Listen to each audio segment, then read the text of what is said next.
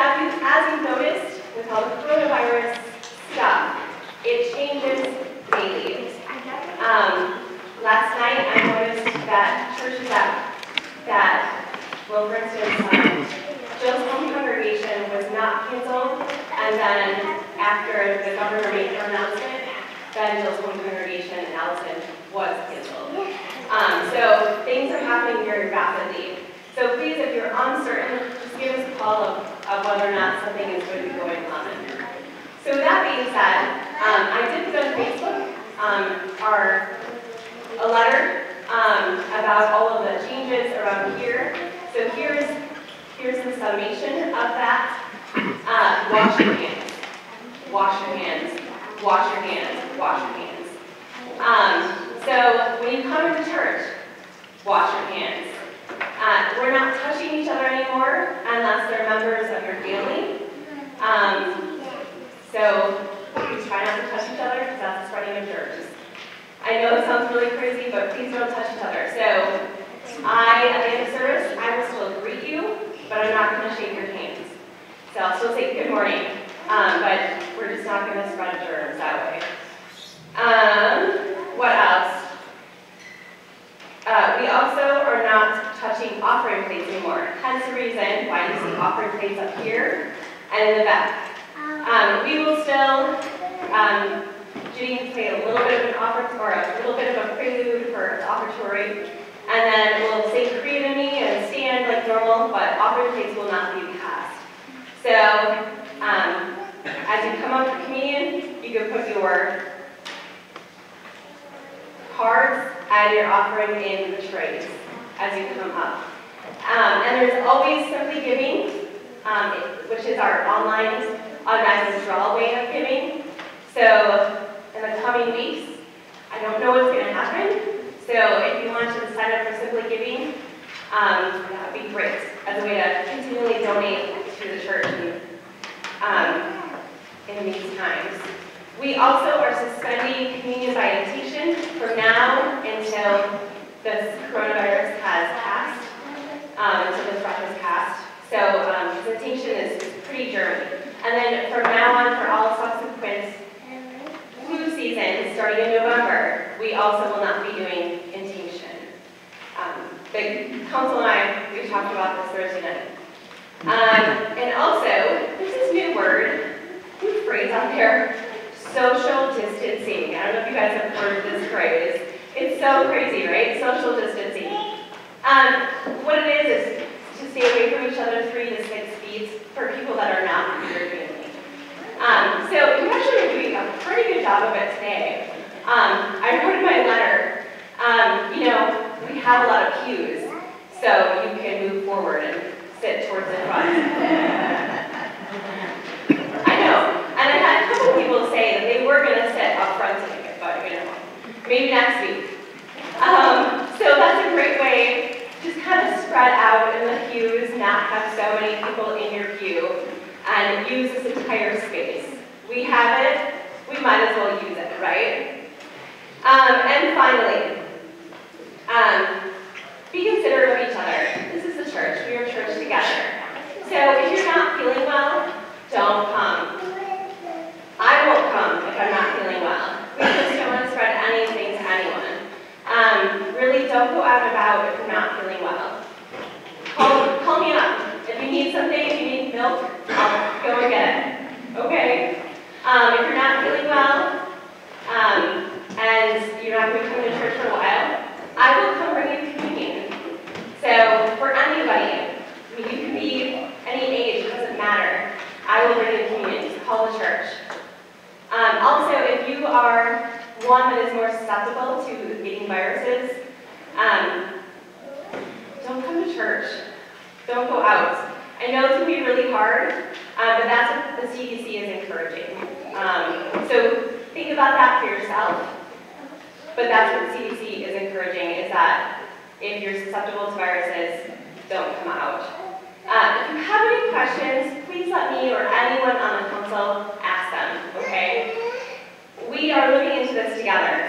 As I said, this is going to change daily. Um, as all of my pastor friends have put, we did not take a class on a pandemic in seminary. So, I'm sorry, but none of us know what we're doing on this. Um, so, we're living into this as church together. So, with that, I've said a lot already this morning. Let us turn our hearts and minds to worship, beginning with confession and forgiveness. Please stand as you are able. The name of the Father, and the Son, and of the Holy Spirit. Amen. God of all mercy and consolation, come to the help of your people, turning us from our sin to live for you alone. Give us the power of your Holy Spirit, that we may confess our sin, receive your forgiveness, and grow into the fullness of Jesus Christ, our Savior and Lord. Amen. Let us confess our sin in the presence of God and of one another. Most merciful God, we confess that we are captives to sin and cannot free ourselves. We have sinned against you in thought, word, and deed, by what we have done and by what we have left undone. We have not loved you with our whole heart. We have not loved our neighbors as ourselves. For the sake of your Son, Jesus Christ, have mercy on us. Forgive us, heal us, and lead us, so that we may delight your will and walk in your ways, to the glory of your holy name. Amen. In the mercy of Almighty God, Jesus Christ was given to die for us, and for his sake God forgives us all our sins. As a called and ordained minister of the Church of Christ and by his authority, I therefore declare to you the entire forgiveness of all your sins. The name of the Father, and of the Son, and of the Holy Spirit. Amen. Our gathering hymn number 770, Give Me Jesus.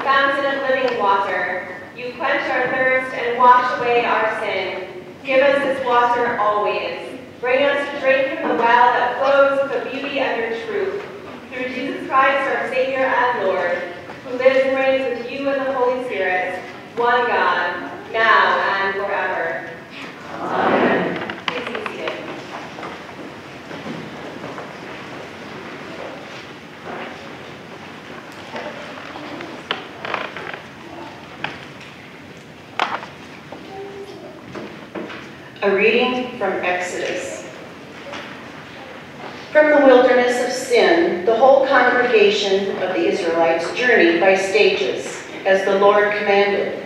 They camped at Rephidim, but there was no water for the people to drink. The people quarreled with Moses and said, Give us water to drink.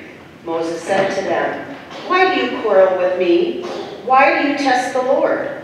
But the people thirsted there for water, and the people complained against Moses and said, Why did you bring us out of Egypt to kill us and our children and livestock with thirst?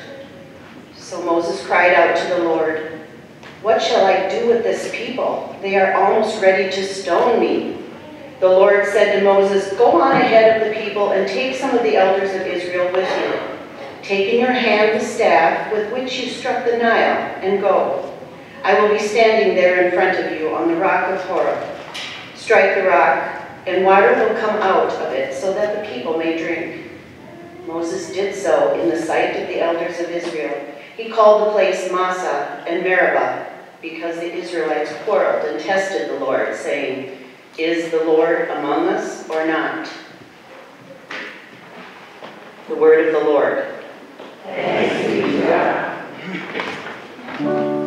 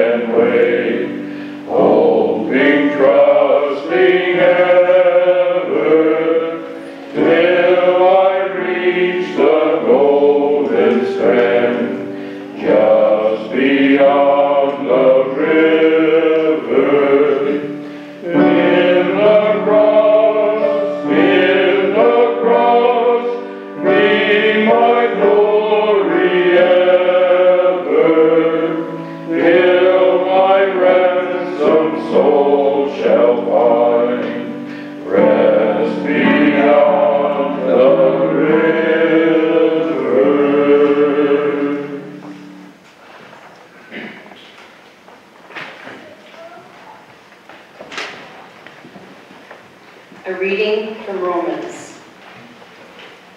Therefore, since we are justified by faith, we have peace with God through our Jesus, Lord Jesus Christ, through whom we have obtained access to this grace in which we stand, and we boast in our hope of sharing the glory of God. And not only that, but we also boast in our sufferings, knowing that suffering produces endurance, and endurance produces character, and character produces hope. And hope does not disappoint us because God's love has been poured into our hearts through the Holy Spirit that has been given to us. For while we were still weak, at the right time, Christ died for the ungodly. Indeed, rarely will anyone die for a righteous person, though perhaps for a good person someone might actually dare to die. But God proves his love for us in that while we still were sinners, Christ died for us. Much more surely then, now that we have been justified by his blood, will we be saved through him from the wrath of God. For if while we were enemies, we were reconciled to God through the death of his Son, much more surely, having been reconciled, will we be saved by his life. But more than that, we even boast in God through our Lord Jesus Christ, through whom we have now received reconciliation. The word of the Lord. Thanks be to God.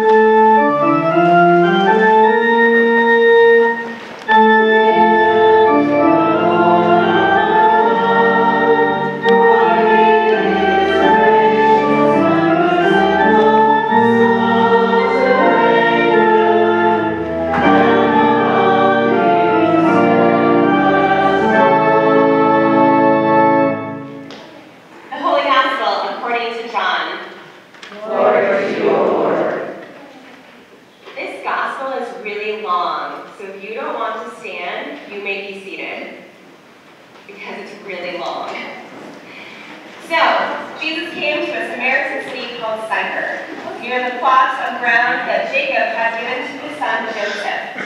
Jacob's well was there, and Jesus, tired out by his journey, was sitting by the well. It was about noon. A Samaritan woman came to draw water, and Jesus said to her, Give me a drink. His disciples had gone to the city to buy food. The Samaritan woman said to him, How is it that you, a Jew, ask a drink of me, a woman of Samaria? Jews do not share things in common with Samaritans. Jesus answered her, If you knew the gift of God and who it is that is saying to you, Give me a drink, you would have asked him, and he would have given you living water. The woman said to him, Sir, you have no buckets, and the well is deep. Where did you get that living water? Are you greater than our ancestor Jacob, who gave us the well, and with his sons and his flocks drank from it? Jesus said to her, Everyone who drinks of this water will be thirsty again. But those who drink of the water that I will give them will never be thirsty. The water that I will give will become in them a spring of water gushing up to eternal life. The woman said to him, Sir, give me this water, so that I may never be thirsty or have to come back, keep coming back here to draw water. Jesus said to her, Go, call your husband and come back. The woman answered him, I have no husband. Jesus said to her, You are right in saying, I have no husband, for you have had five husbands, and the one you have now is not your husband. What you have said is true. The woman said to him, Sir, I see that you are a prophet. Our ancestors, our ancestors worshipped on this mountain, but you say that the place where people must worship is in Jerusalem. Jesus said to her, Woman, believe me, the hour is coming when you will worship the Father neither on this mountain nor in Jerusalem. You worship what you do not know. We worship what we know. For salvation is from the Jews. But the hour is coming and is now here when the true worshipers will worship the Father in spirit and truth. For the Father seeks such as these to worship him. God is spirit, and those who worship him must worship in spirit and truth. The woman said to him, I know that Messiah is coming, who is called Christ. When he comes, he will proclaim all things to us. Jesus said to her, I am he, the one who is speaking to you. Just then his disciples came. They were astonished that he was speaking with a woman, but no one said, What do you want? Or, Why are you speaking with her? Then the woman left her water jar and went back to the city. She said to the people, Come and see a man who told me everything I have ever done. He cannot be the Messiah, can he? They left the city and were on their way to him. Meanwhile, the disciples were urging him, Rabbi, eat something. But he said to them, I have food to eat that you do not know about. So the disciples said to one another, Surely no one has brought him something to eat. Jesus said to them, My food is to do the will of him who sent me, and to complete his work. Do you not say, Four months more, and then comes the harvest? But I tell you, look around you, and see how the fields are ripe for harvesting. The reaper is already receiving wages, and is gathering fruits for eternal life, so that sower and reaper may rejoice together. For here the saying holds true, one sows, and another reaps. I sent you to reap that you, that for which you did not labor. Others have labored, and you have entered into their labor. Many Samaritans from the city believed in him because of the woman's testimony. He told me everything I have ever done. So when the Samaritans came to him, they asked him to stay with them, and he stayed there two days. And many more believed because of his word. They said to the woman, It is no longer because of what you said that we believe, for we have heard for ourselves, and we know that this is truly the Savior of the world. The Gospel of the Lord. Praise to you, Christ. I invite the children forward for the children's message.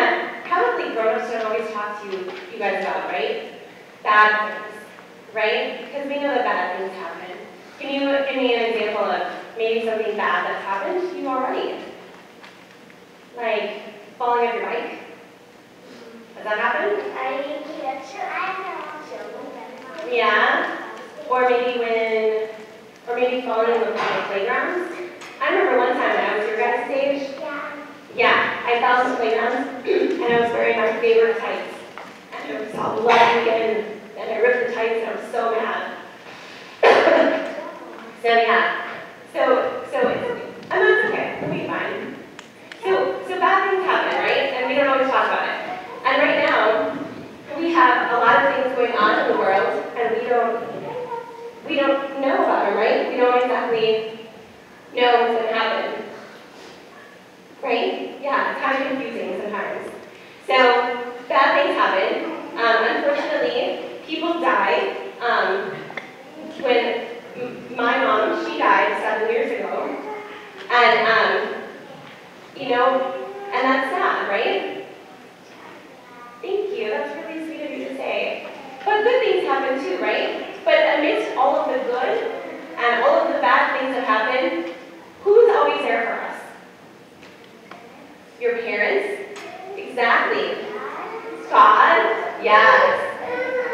Yeah, he's. God is always there for us, right? So, so, so even God is with Joe right